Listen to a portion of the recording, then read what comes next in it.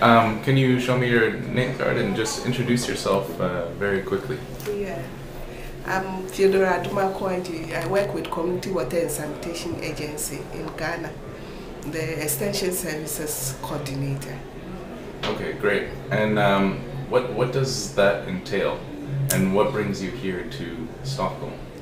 Yeah, the Extension Services entails the capacity development in general of all the actors in relation to extension activities, specifically like promotional activities, uh, training, knowledge management, and anything that will really empower the people that we work with to be able to do their work and then most importantly also to support the sustainability of the interventions that we put in their various uh, communities. Okay, and, and so what are you getting now out of the World Water Week and how, how can you use this? We were just talking about, you know, what the future is. Yeah, yeah.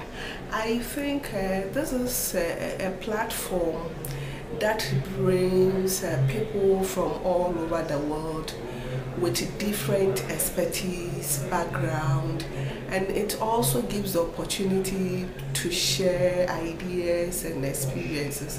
And for this year, I think the focus is on urban.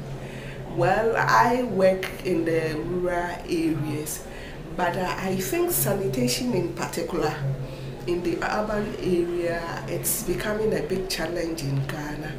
And therefore, that is where I want to pick some ideas as to how I can go back and share and see how we can move the urban and in, in the CWSA we also work in small towns, you know, peri-urban and yeah. all of that. See how best uh, we can uh, uh, fit into that.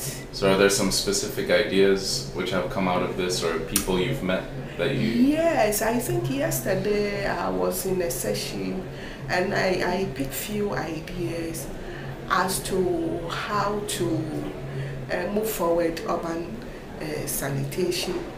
But um, it, it, has been uh, raised that urban sanitation is very complex.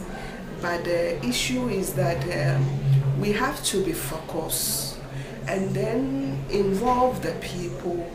You know, it, it looks as if we are all looking at sanitation from our own point of view. This is not there, this is not working, you know. But it's time from this forum, I think what we will have to reconsider now is uh, whose sanitation are we talking about, you know. Is it what the people say they want and it can work, mm. you know, or is it what we think we have to do for the people to work for sanitation. So this is one thing that I have picked. Okay. That engagement of the people in the urban areas, it may not be easy because it's easier in the rural areas. Mm. But I think in the urban areas too, we have to fashion a way of really engaging the people, you know, to discuss the rare issues and then look at their sanitation, yeah. but not our sanitation. So, the the Ghana Water Forum is coming. I think yes. in ten days or something like that. Yeah, yeah, yeah. And um, so, are there any messages you're taking there? Oh, is yes. it is it especially on this sanitation issue? Yes, definitely, because we're going to have a session on sanitation. Okay. You know, so I think I would like to raise uh, some of. Uh, these issues. And there are some few innovative ideas here that I have picked. Maybe we can also try and see how yeah. we move this. I hope we have a water cube there as well. So oh thank, yeah. thank you very much. Yeah.